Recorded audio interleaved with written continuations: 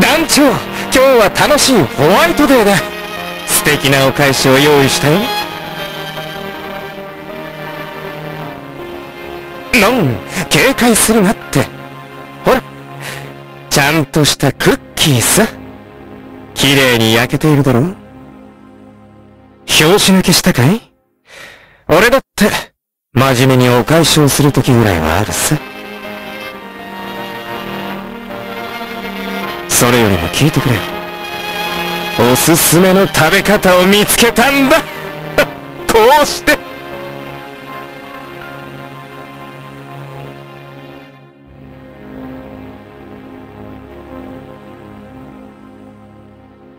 は ああそう。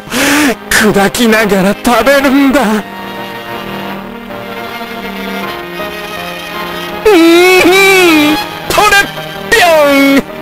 なかなかいい音だと思わないか？